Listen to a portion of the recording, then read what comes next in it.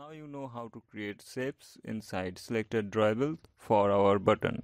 But what if we have our shapes in a separate XML?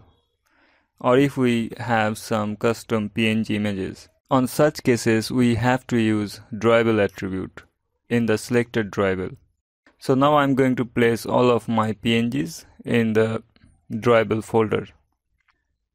Right click, paste, then make sure that the drawable folder is selected. Now OK. OK again. So these are the PNGs which we are going to set for our buttons enable the state, disable state and pressed state.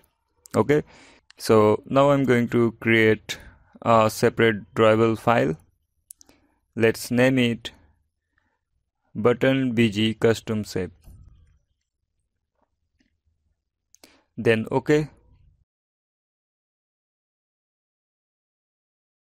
now angle bracket item state pressed true then space android drawable at drawable let's select the button pressed then close this item tag now let's create another item for state enabled true. Then Android drawable at drawable uh, button enable true.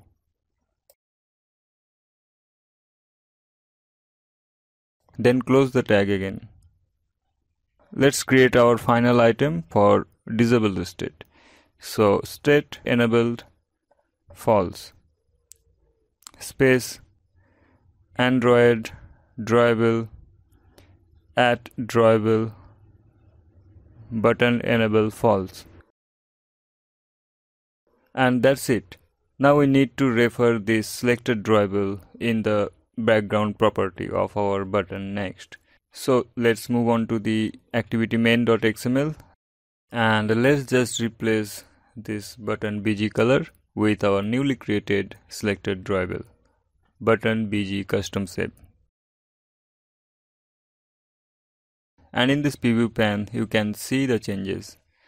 Let's run this code. We can see our nice custom background for the button next. Now if I press this button you can see another drawable for state pressed We can also change this value to false to check the disable states drawable, which is the gray one. Now I will resize this button by specifying some value in its width and height. Let's say layout width 140 dp and height 70 dp. However, you can specify any size you want. Let's run this code again to see all the changes.